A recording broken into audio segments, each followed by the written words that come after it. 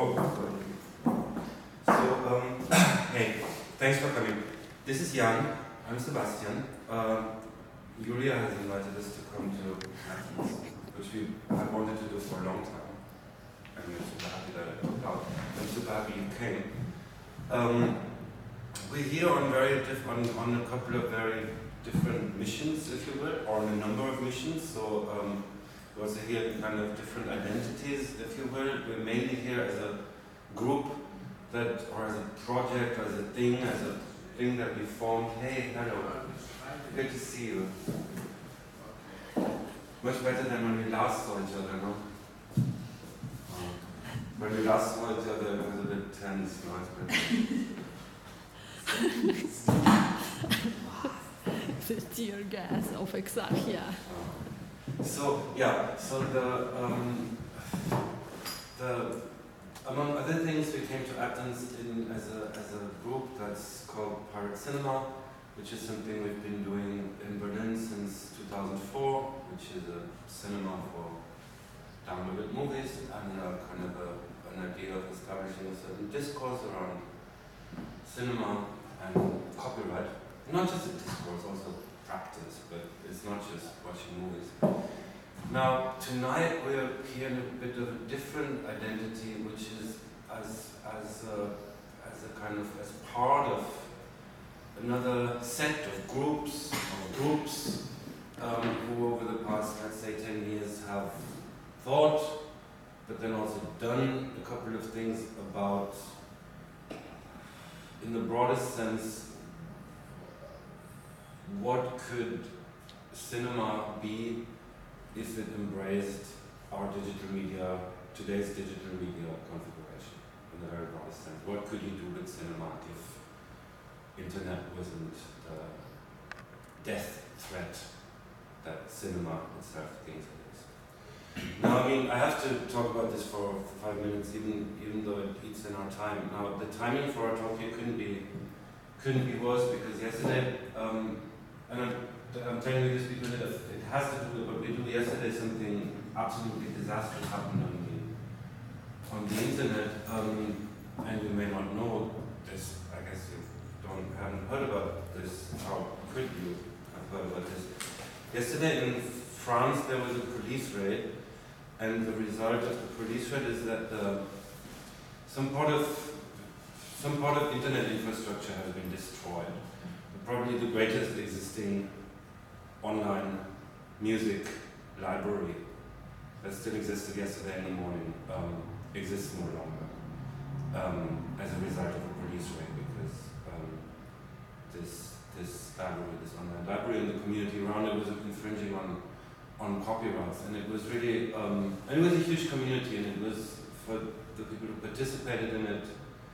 Um, I mean, I spent all night. I really didn't sleep much because I spent all night reading what people said about it, and they, they were like the amount of, of shock and disbelief and grief and mourning and and and and, and like people literally said like this year with, with Brexit and Trump and, uh, and uh, David Bowie and Prince and Five Feet Dog and Leonard Cohen, like all this. Okay, but the, the fact that this happened, what a disaster.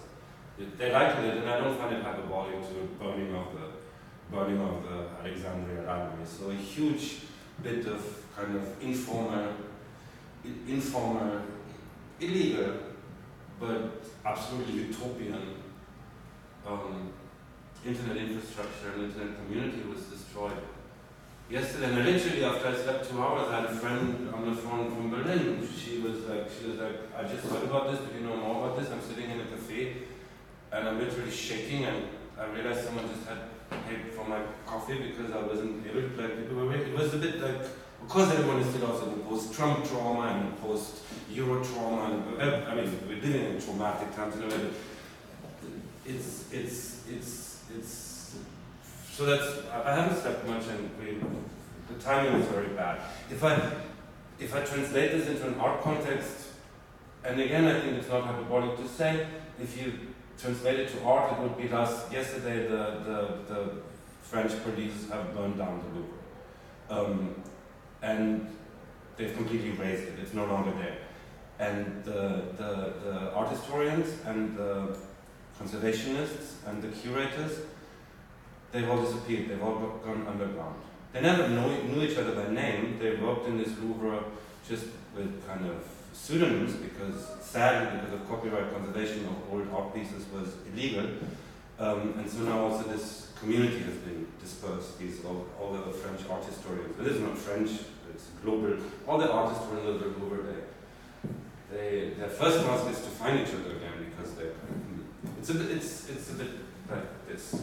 And you're an, you're an, you're an art historian or a curator or an art student and you, you just happen to be at a hacker conference on that next night, no? When everyone says like, oh, the Louvre, I don't know, oh, you have heard about it, or they say, I don't know, too expensive.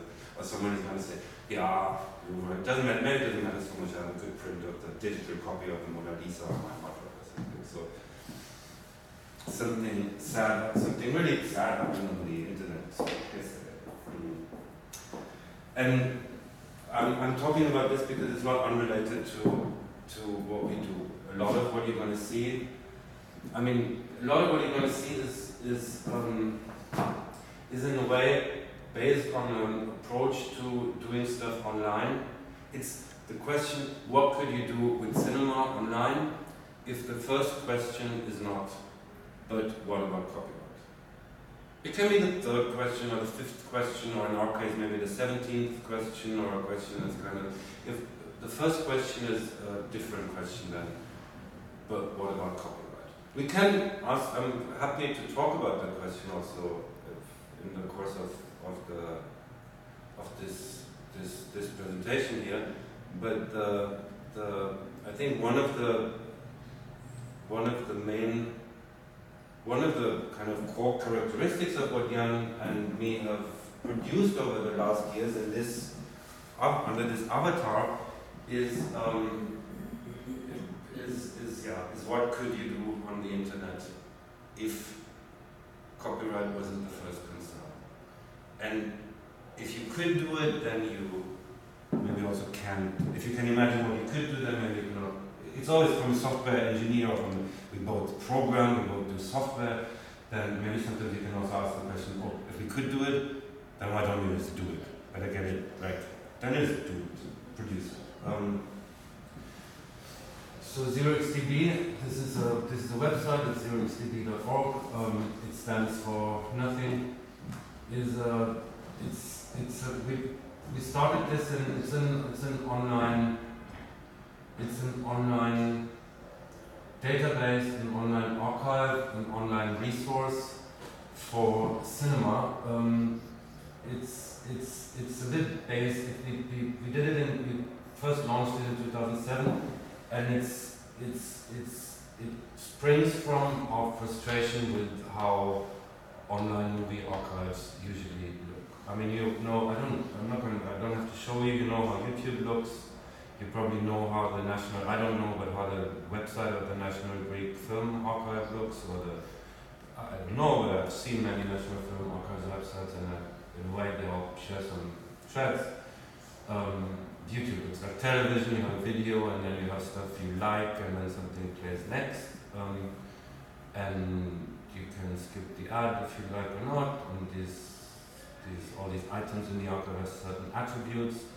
In case of the National Film Archive, the main attribute of the items is that they're not available or not readily available or that it's really complicated to get them. Or so we, we, we thought in 2007 we had an occasion, we had a bit of time to think about um, uh, how, how, I mean, actually, the, the, the 0xDB, how would you do it? Actually, 0xDB still to this day, we wrote this back then, almost 10 years ago, um, we, we, we called it, we said 0xDB is a, 0xDB is an experimental and to some degree imaginary movie database. So the thing is, even though this is practical and functions and it's online and you can go home and use it and stuff, it's, I think it's for us back then, and I think still it's important that it's also an imaginary, it's an imaginary thing. It's not just a tool. It's not just a thing that has certain kind of uh, where we have certain goals or criteria that we want to fulfill, and then we implement something that then works. But this is definitely also a space that is intended to um, to challenge our beliefs about what cinema on the internet or an archive uh, could look like. So in that sense, it's something that's that's um, that's it's, it's, it's, it's conceptual, if you will, or it's a it's a it's not just a tool.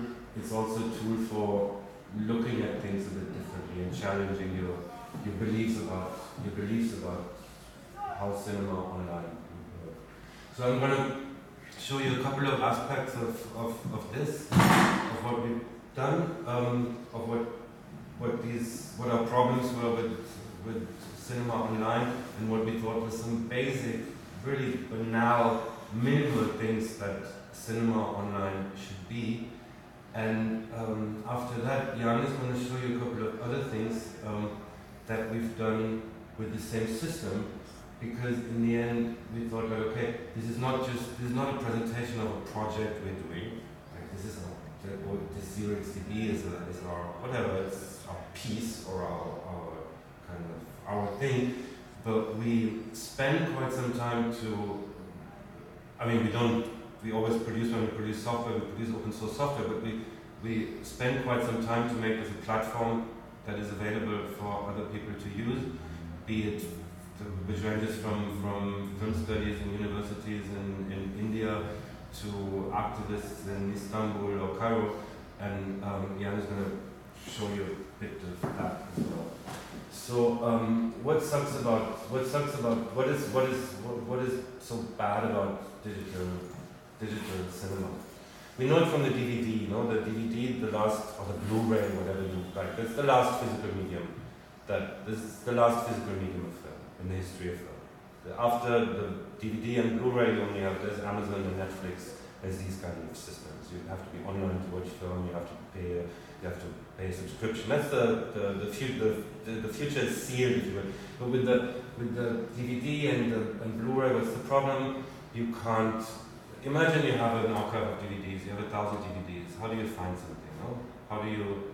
So you take a DVD. You take the. You find the DVD and your then you put it in the DVD, you can't really skip, you can't really search, there are kind of chapters that are not really the organization of, of, of, of film that you'd expect. You can't, it's insanely complicated, even though all, all this is digital data, to get to a point where you can handle it. Imagine the book, you know, the, you have a library, you have a library of books. Each book conveys, am I a thick book or a thin book? Is it a long text or a short text? Just because it's a, just the object. You can flip through a book. If you remember a page, a quote in the book, often you remember it was on the left page on top. If you flip through a book, you just, your, your thumbs and your fingers know if you're at the beginning of, of the book or at the end of the book. All this, the, the, the DVD is completely opaque. Looking at a DVD, you don't even know if it still works. You don't even know if there's anything on it. It's a fully opaque uh, uh, medium, even though it claims to be digital film. So we thought some of these things must change. So once you have, this is, so ZeroXDB is an online database of 15,000 films um, that, um, that we put on there. You can also watch these films actually online, but that's not the main focus of the site. It's not a streaming site, it's not a pirate site, it's, it's more a site about cinema as such. So um, um, what are the what are the minimal things that we thought were one could do better? Film, I mean banality, but film is a visual media. If you think of the book, like can you do something navigation of a film? Can you what what how do you do this? How do you is there could there be an equivalent of, of spatial navigation of a book or of a library? Hey, could you could, could, could a film also give these properties away? I'm a long film, I'm a short film. I'm at the this is the beginning of the film, this is the end of the film. Could there be something better than just, I mean, this is what it looks from. Could there something better than just a list of, you know, a list of, a list of items, um, an endless list of items, or whatever I saw them I always see television series. Could, could it be, I mean, these are all fabulous, many of these films are fabulous films, no? But could there be, what does it give? No, this looks like a shrine, this looks like a, this looks like a, what could you do? so once you have digital film, you actually have what is a digital film? A digital film is is um, like as an object, like as a, as a thing. It's pixels times pixels times time. It's a loaf. It's like a loaf of bread. It's a it's a, it's it's it's a 3D structure. No, it's pixels times pixels, which is an image, over time, which is the third dimension. It is a it is a as a digital object. It's relatively clear to how you handle it. It has a beginning. It has an end. It has this. It's a now. It, once a film is digital, it should be trivial to do something like this. No, like this is how. Um, this is a this is just a selection of this is a sub-selection of this is just a list here of a couple of films. So this is how films this is one of the ways how, how film would look on 0xDB. Um, what is this? We call it a timeline. This is basically this was back nine years ago. This is really old stuff. No, like the idea of, of how could a film be represented uh, better so how does this work? This is basically in this resolution, you can see it in different resolutions a bit later. This is each pixel here, so each pixel here is one second of film, and what we basically what we do is basically we compress it so that it becomes just we compress the frame. We take the average of that second and make it just a, make it just a, uh, one line, one line of. Uh, what you realize, I mean, I don't know if you know these, if, you, if these are films you've seen or if there's some films you know. Sometimes people, I don't know, how do you find out if Tree Master 3 is actually a dark? Maybe you remember it's relatively dark. No, it's relatively dark. Maybe I've forgotten about this bright face here, but yeah. Um, who of you has seen, knows James Benning, the filmmaker James Benning? Does anyone of you know this guy? American filmmaker. Yeah. Assume you don't know James Benning. So are three films by James Benning. And I mean, I'm not saying we shouldn't watch movies anymore. I'm not saying this is going to replace watching movies. Not, not at all. I'm just saying, like, assume you don't have the time to watch James Benning now. Or assume you just want to you have, like, even if you haven't seen James Benning, just by looking at that, you get a pretty good idea about some structure, uh, some, some structural properties of the cinema of James Benning. These are, over time, long, these are long static shots. It's relatively clear that something like this is a horizon, or this is a horizon. What's ten skies? Looking at this, it's obviously, it's, it's clearly ten skies. And you see that there's a, that it's the same principle, there's some black and white, there's some, but it's, it's, it's shorter, it's shorter segments, but it's totally clear. And I mean, you can click on this and you'll see the. I don't have this on. I can do it. To control here. Shifty. So you, I mean, if you want to see it in the in the lower left corner, you can also see that frame. You can see the sky. You can see what's in the middle of this shot, and there will be a horizon, I think and the truck is passing by, two trucks are passing by. So there's there's two things, no? It lets you navigate a film. You can navigate. I mean, you can see this also with the video player a bit later.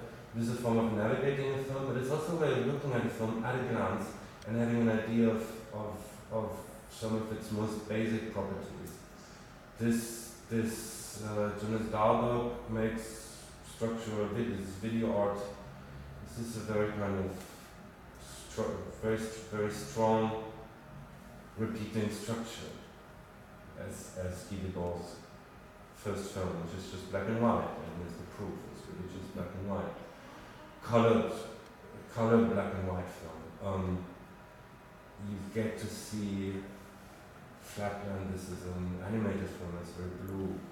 You can see cutting frequencies. You can see that Lama by Hollis Frampton has really kind of high frequency changes. You see that relatively relatively uncommon structure for a film under the skin. Um, you see, I'll scroll up later. You you you you see a couple of things that a DVD or the National Film Archive doesn't really give you. Um, now, now, looking at this, um, these are the three films that Jean Godard made in 1967. Two or three things, La Chinoise and Weekend. And, um, I mean, I don't know, but you can see, or I think one can see, you have to look a bit, it's not something that's immediately evident, but you can see that there seems to be a common structure in this film. And then you can think about what this common structure is. Is it the kind of the black the short black periods that appear in between Is it the primary colors? There's a there's a clear structure if you see in comparison to a lot of um, of the rest. Um, what's in what's in this list of films? You you can I think you can make a make a make a make an argument about a type of cinema just from just from um, looking at the structure here. So it's not just navigation, or you can easily, if you've forgotten what the red stuff is in two or three things. It's a red Mini Cooper. Or what this red stuff. There's a sign that says Pax. Or says Boutique somewhere. Um, you, can, you can verify these things. But um, it's not just navigation, it's also kind of a, a, fingerprint, a digital preview of a, a preview of a structure that can take things away. You see in many cases, you can see a zoom on this You see when the camera zooms in. You can see a zoom in and a zoom out. So this is obviously, for example, this bit here, this must be a zoom in because something that's small in the beginning ends up being larger uh, a few seconds, 20 seconds later. Um, now, you can even look at this more more precisely. So on 0xDB we have all this metadata, the style that you can search for the things that you can search in a film archive and trivia and who the who the direct who the the, the list of cast and what the, who, what the names of the characters are, etc. But um, let's look at this timeline a bit more closely. Um, let's see if our internet permits this. So um, one of the things you see this is now a different type of timeline. So this is one um, where we don't just compress the whole film and put it in one frame, it's higher resolution. Here every pixel, each pixel is actually one frame, not just one second. And what we do here is we basically throw everything away other than the center pixel of the film, the center pixel of the, the center of the screen, which is exactly the same as a slit scan, as what, we could, as what you can do with an analog slit scan camera which is just a slit where you, that, that records movement across it. Um, this is amazing for, for this.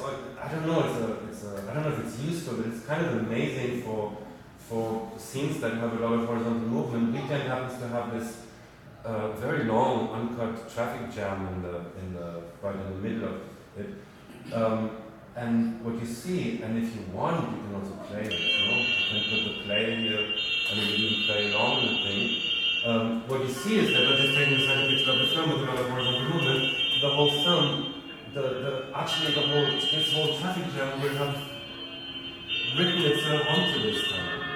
Um, so, so even without playing it, you get a you get a you get time projected onto space, and you can watch a film like this. And if you if you were wondering what what type of type of what brand, what brand uh, appeared in the Shannon. You can see it already on the timeline. Um, it's it's um, and sometimes sometimes these are very kind of abstract renderings. Sometimes you see a person run in front of a house. You know, it's very it's, it's really like more more of a slit scan type of type of thing. Um, the what, what would happen with a slit scan camera. And there's more panorama. There's sheep in this film, even though we're not even watching.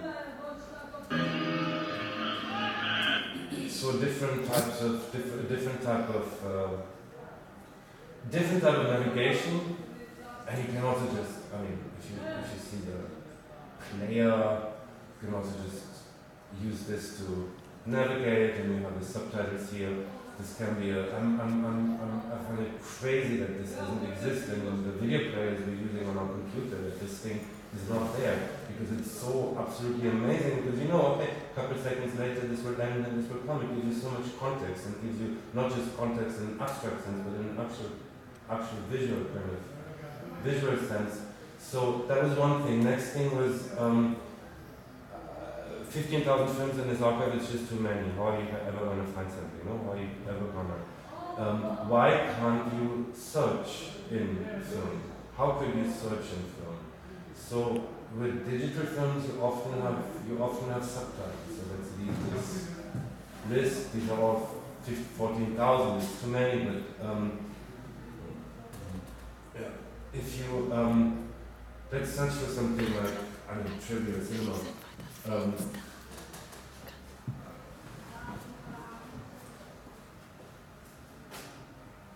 and now you find 2000 movies that have some cinema in the title or maybe some cinema in the description or maybe someone so not very useful to search like this to have this kind of keywords and yeah the, the 39 steps that's about cinema but it's not eight and a half yeah cinema it's kind of tautological, but what about you can search for cinema actually in the subtitles of the film? And what about we switch this to timelines again? Um, so a search for cinema in this case is no longer a search for an abstract keyword that someone has so someone has tagged the film and keyword and, and cinema appears, but this is actually if the internet gives us, uh, just wait for, wait for a moment. Um, this is now actually a search that will produce time-based results. Um, so, in in in um, usually in all our presentations, all the examples are Godard. Let's maybe stick with that rule. So, in all the boys are called Patrick, which is a very early Godard cinema appears here at seven minutes into the film, and you see this highlighted on the timeline. You see the highlight just as you would see a highlight in your text. We could all go to the cinema together. Um, cinemat- cinematographer, okay, it's, it's something that is in the title. So when it's in the beginning of the film, it's it's it's often a title. Here it a title as well, cinematography by. But there may be more interesting cases than these. As the leader of the new Brazilian cinema, this is uh, Awakening of the Beast, Brazilian cinema. Mm. Cinema is like magic. We have no idea what we're filming. so um, I think this is fantastic. This is this is much better than than than this is much better than just search because you see where something appears on the film, and if you want to switch this to an, another view, you want to view this as clips, then um, you actually get, this may again also take a tiny moment to go, but it's there. Um, this is 1,700 clips where someone says cinema in film, or where cinema is in the subtitles. And this is all of them. And each of these things here, this is not just some stupid icon where you can't see anything. Each of these is a video player. If you click on this, it will play and it will play, let's see. Um, just not now that we're presenting it, of course, but um,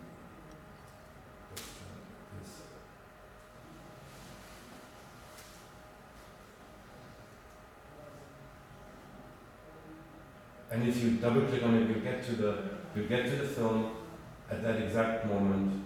You get the highlight here on the timeline. You get the invention of cinema, Niels Sharon Bohn. Um, at the right place in the film, at the correct place in the film.